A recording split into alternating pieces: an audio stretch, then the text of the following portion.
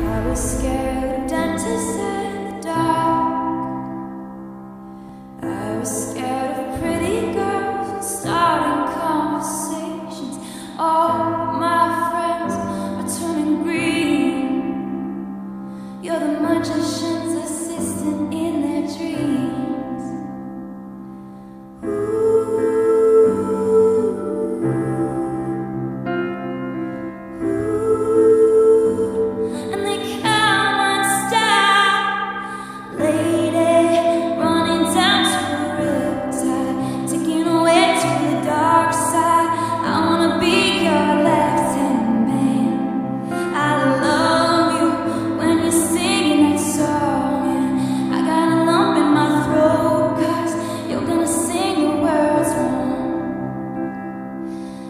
this movie that I think you'd like.